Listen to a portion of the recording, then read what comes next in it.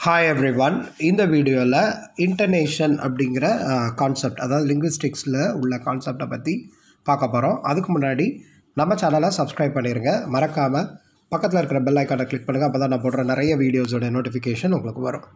இந்த இன்டர்நேஷன் அப்படிங்கிறது லிங்குவிஸ்டிக்ஸில் ஒரு காம்பனண்ட் அதாவது நம்ம பேசும் பொழுது அந்த பிட்ச் கிரியேட் பண்ணி அந்த வேரியேஷன் காட்டி பேசுகிறோம் இல்லையா?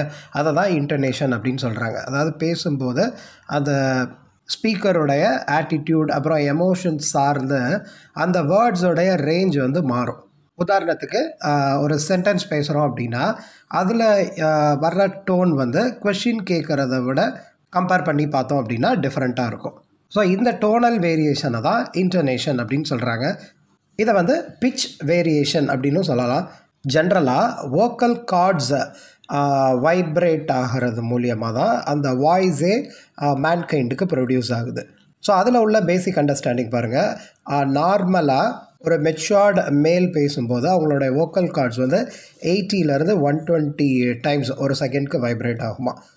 இதே இது அடல்ட் ஃபீமேலுக்கு வந்து ஒன் ஃபிஃப்டிலேருந்து டூ ஹண்ட்ரட் டைம்ஸ் ஒரு செகண்ட்க்கு வைப்ரேட் ஆகும் அப்படிங்கிறது ஒரு சயின்டிஃபிக் ப்ரூவன் ரிசர்ச் இந்த வோக்கல் கார்ட்ஸ் வைப்ரேட் ஆகிற இந்த ரேட்டை ஃப்ரீக்வன்சி ஆஃப் வைப்ரேஷன் அப்படின்னு சொல்கிறாங்க அதுதான் அந்த வாய்ஸோடைய பிச்சை வந்து டிட்டர்மைன் பண்ணுது அப்படின்னு சொல்கிறாங்க இந்த வோக்கல் கார்ட்ஸ் வந்து ரொம்ப ஃபாஸ்ட்டாக வைப்ரேட் ஆச்சு அப்படின்னா அந்த பிட்ச் வந்து ரொம்ப ஹையராக இருக்கும் அப்படிங்கிறது கான்செப்ட் பேசும் பொழுது வாய்ஸ் வந்து ரைஸ் ஆகி ஃபால் ஆகுது இல்லையா?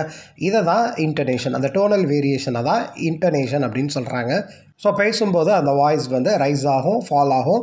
சில நேரம் ஃப்ளாட்டாகவே இருக்கும். அதாவது டிபெண்டிங் அப்பான் த சாய்ஸாக வேர்ட்ஸ்னு சொல்லலாம். அப்புறம் நம்மளுடைய மூட் அதாவது சர்ப்ரைஸாக இருந்ததுன்னா அதுக்கு தகுந்த மாதிரி டோனல் வேரியேஷன் மாறும். ஸோ இது வந்து ஸ்பீக்கருடைய மூடை பொறுத்தும் வேரி ஆகும் அப்படின்னு சொல்கிறாங்க இங்கிலீஷில் ரெண்டு பேசிக் இன்டர்நேஷன் பேட்டர்ன்ஸ் தான் உண்டு. ஒன்று ஃபாலிங் ரைசிங் ஃபாலிங்கை இண்டிகேட் பண்ணுறதுக்கு டவுன்வேர்டு ஆரோ சிம்பிளை யூஸ் பண்ணுவாங்க. அதே மாதிரி ரைசிங் இன்டர்நேஷன் அதை இண்டிகேட் பண்ணுறதுக்கு அப்வேர்டு ஆரோவை யூஸ் பண்ணுவாங்க. இது ரெண்டும் பேசிக் பட் இதை சார்ந்து நிறைய இன்டர்நேஷன் பேட்டர்ன்ஸ் இருக்குது இங்கிலீஷ் கான்வர்சேஷனில் இந்த ஃபாலிங் இன்டர்நேஷன் எங்கெல்லாம் வரும் அப்படின்னா ஒரு நார்மல் சென்டென்ஸ் அப்புறம் கமாண்ட் அப்புறம் டபிள்யூஹெச் கொஷின் அப்புறம் கொஷின் டேக் அப்புறம் எக்ஸ்க்ளமேஷன் ஸோ இந்த அஞ்சு பார்ட்டில் வந்து ஃபாலிங் இன்டர்நேஷன் வரும். அதுக்கு சில எக்ஸாம்பிள்ஸ் பார்த்துடலாம் நம்ம. I am going to theatre இந்த ஈவினிங் அப்படிங்கிற ஸ்டேட்மெண்ட்டில் ஃபாலிங் இன்டர்நேஷன் அதே மாதிரி கமெண்ட் பாருங்கள் ஓப்பன் த டோர் அப்படின்னு சொல்கிறதுல கூட ஃபாலிங் இன்டர்நேஷன் தான். இதே மாதிரி WH question where do you park your bike அப்படின்னு நம்ம கேட்குற அந்த டபிள்யூஹெச் கொஷின் பேட்டர்னில் கூட முடியும் பொழுது ஃபாலிங் இன்டர்நேஷன் தான். அப்புறம் question tag it is your house isn't it அப்படின்னு நம்ம டேக்கை கம்ப்ளீட் பண்ணுறோம் இல்லையா? அதுவுமே ஃபாலிங் இன்டர்நேஷன் தான். அதே மாதிரி எக்ஸ்க்ளமேஷனுக்கு ஒரு எக்ஸாம்பிள் பாருங்கள் வாட் அ பியூட்டிஃபுல் ரோஸ் அப்படின்னு நம்ம அந்த எக்ஸ்க்ளமேட்டரி மார்க்கோட கம்ப்ளீட் பண்ணுறோம் ஸோ அந்த எக்ஸ்க்ளமேட்டரி ஸ்டேட்மெண்ட் கூட ஃபாலிங் இன்டர்நேஷன் பேட்டர்ன் தான். இப்போ ரைசிங் இன்டர்நேஷன் நான் ஏற்கனவே சொன்ன மாதிரி அப்வர்ட் ஆரோ மூலியமாக இண்டிகேட் பண்ணுவாங்க. இது எப்போ நடக்கும் அப்படின்னா வேர்பல் கொஷின் இதை நம்ம எஸ்ஆர்னோ கொஷின் சொல்லுவோம் இல்லையா? ஸோ அந்த கொஷின் கேட்கும்போது ரைசிங் இன்டர்நேஷன் தான். கொஷின் டேக் பேட்டர்னில் ரைசிங் இன்டர்நேஷன் வரும். எப்போ அப்படின்னா நம்ம அவங்கக்கிட்ட ஆன்சர் எதிர்பார்க்கும் போது. ஸோ இந்த பேட்டர்னில் கொஞ்சம் சின்ன டிஃப்ரென்ஸ் இருக்குது பாருங்கள் இந்த கொஷின் டேக்கில் கொஞ்சம் அழுத்தம் திருத்தமாக அவங்கக்கிட்ட ஆன்சர் சொல்லும்படியாக நம்ம கேட்கக்கூடிய கொஷின் கொஞ்சம் ஸ்ட்ரெஸ் பண்ணி லாஸ்ட்டில் கம்ப்ளீட் பண்ணோம் அப்படின்னா அது வந்து uh, ரைசிங் இன்டர்நேஷன் தான். So yes or no question பாருங்கள் have you completed your homework அப்படின்னு நம்ம கேட்டோம் அப்படின்னா அது வந்து uh, ஒரு ரைசிங் இன்டர்நேஷனுக்கு ஒரு எக்ஸாம்பிள் அதே மாதிரி வேர்பல் கொஷின் பாருங்கள் you have mailed the document haven't you அப்படின்னு நம்ம கேட்கும் பொழுது அந்த லாஸ்ட் uh, அந்த கொஷின் டேக்கில் ரைசிங் இன்டர்நேஷன் ஃபாலோ ஆகுது. ஸோ ரைட்டிங் இன்டர்நேஷன் சாரி அந்த ரைசிங் இன்டர்நேஷன் அந்த லாஸ்ட் கொஷின் டேக்கில் கிரியேட் ஆகுது இல்லையா? இப்போ இதில் இன்னொரு கேட்டகரிலாம் இருக்குது பாருங்கள் ரைஸ் ஃபால் இன்டர்நேஷன் அப்படின்னு ஒன்று இருக்குது அதாவது ரைஸ் ஆகிற மாதிரி இருக்கும். பட் லாஸ்ட்டில் வந்து ஃபால் ஆகும். அதுக்கு எக்ஸாம்பிள்ஸ். எந்தெந்த இடத்துலலாம் அந்த மாதிரி ரைஸ் ஃபால் இன்டர்நேஷன் உருவாகுது அப்படின்னா சாய்ஸஸ் கேட்கும்போது அல்லது லிஸ்ட் ஆஃப் திங்ஸ் நம்ம சொல்ல நினைக்கும் போது அப்புறம் அன்ஃபினிஷ்ட் தாட். நிறைய விஷயம் சொல்லிகிட்டே வர்றோம். பட் அதை இன்கம்ப்ளீட்டாக விடும்போது அது வந்து ரைஸ் ஃபால் இன்டர்நேஷன் கேட்டகரியில் வருது. ஸோ சாய்ஸஸில் எக்ஸாம்பிள் பாருங்கள் does he speak Hindi or English அப்படின்னு நம்ம கேட்கும்போது ரைஸ் ஆகி ஃபால் ஆகுது. இப்போ அந்த லிஸ்ட்டுக்கு ஒரு கேட்டகரி பாருங்கள் I have purchased apples bananas and water melons so இந்த ஸ்டேட்மெண்ட்டில் ரைஸ் ஆகி ஃபால் ஆகுது இல்லையா?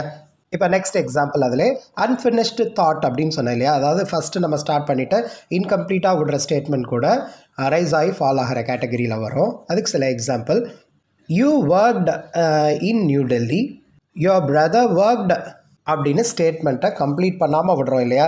அந்த இடத்துல கூட ரைசிங் ஃபால் அதாவது rise falling intonation next conditional clause conditional clauses நமக்கு தெரியும். கண்டிஷனல் சென்டென்ஸ் சொல்லுவோம். அந்த இஃப் வச்சு ஆரம்பிக்கும் இல்லையா? அது வந்து பெஸ்ட் எக்ஸாம்பிள் அந்த ரைஸ் ஃபால் இன்டர்நேஷனுக்கு ஸோ அதில் ஒரு எக்ஸாம்பிள் பார்த்துடலாம். If I have a car I will reach the place on time இது ஒரு எக்ஸாம்பிள் நெக்ஸ்ட் கேட்டகரி பாருங்கள் ஃபால் ரைஸ் இன்டர்நேஷன் அதாவது ஃபால் ஆகி அந்த டோனல் வேரியேஷன் ரைஸ் ஆகிற மாதிரி இருக்கும். இந்த ஃபால் ரைஸ் இன்டர்னேஷன் இருக்கு இல்லையா? இது வந்து ஒரு வேர்டுக்குள்ளே நடக்கிற மாதிரி இருக்கும். அதுக்கு எக்ஸாம்பிள் பார்த்தோம் அப்படின்னா நமக்கு கிளியராக புரிய வரும். இந்த ஃபால் ரைஸ் கேட்டகரி நான் ஏற்கனவே சொன்ன மாதிரி அந்த ஃபாலும் ரைஸும் ஒரே வேர்டில் அப்படி ஸ்லைட்டாக அப்படி ஒரு ஜர்க் மாதிரி கொடுத்து அப்படி சேஞ்ச் ஆகிற மாதிரி இருக்கும். ஸோ இது எங்கெல்லாம் நடக்கும் அப்படின்னா ஹெசிடேட் பண்ணி சொல்ல நினைக்கிற சுச்சுவேஷனில் அல்லது பொலைட்னஸாக நம்ம யூஸ் பண்ணுற சென்டென்ஸ் பேட்டர்னில் நடக்கும். ஸோ இதுக்கு சில எக்ஸாம்பிள் பார்க்கலாம். ஐ டோன்ட் திங்க் ஸோ இதில் ஃபால் ஆகி ரைஸ் ஆகிற மாதிரி இருக்குது ஸ்டேட்மெண்ட்டை ஐ டோன்ட் திங்க் ஸோ அப்படின்னு நம்ம பிளண்ட்டாக நம்ம பேசுகிறதில்ல ஐ டோன்ட் திங்க் இந்த திங்க்குங்கிற வேர்டில் ஃபால் ஆகிற மாதிரி அப்படியே ரைஸ் ஆகுது. ஸோ ஒரு வேர்டு அந்த ஒரு வேர்டுக்குள்ளே அந்த டிரான்ஸ்ஃபர்மேஷன் சேஞ்ச் ஆகும். அந்த ஒரு வேர்டில் தான் அந்த இன்டர்நேஷன் ஃபால்லேருந்து ரைஸ் ஆகிறதுக்கு உண்டான பாசிபிலிட்டி வர்ற கேட்டகரியை தான் ஃபால் ரைஸ் இன்டர்நேஷன் அப்படின்னு சொல்லுவாங்க. இப்போ பலைட்னஸ்க்கு ஒரு எக்ஸாம்பிள் பாருங்கள் ஸோ பொலைட்டாக கேட்கும்போது கூட அந்த ஒரு வேர்டில் நம்ம ஸ்ட்ரெஸ் கொடுப்போம். அந்த ஆக்ஷன் வேர்ட் குறிப்பாக அந்த ஆக்ஷன் வேர்ட் பாருங்கள் can you open the door can you open the door அப்படின்னு நம்ம கேட்டுடலாம். இப்போ அந்த கொஷினை நம்ம பொலைட்டாக கேட்கும்போது அந்த ஓப்பன் அப்படிங்கிறதுல அப்படி ஃபால் ஆகி ரைஸ் ஆகிற மாதிரி இருக்கும். இதுதான் அந்த ஃபால் ரைஸ் இன்டர்நேஷனுடைய எக்ஸாம்பிள் மறுபடியும் சொல்கிறேன் ரைசிங் இன்டர்நேஷன் அப்படின்னா அந்த பிச் வந்து அந்த வாய்ஸ் நம்ம ஸ்பீக்கருடைய அந்த பிச் வந்து அப்படி ரைஸ் ஆகிற மாதிரி இருக்கும்.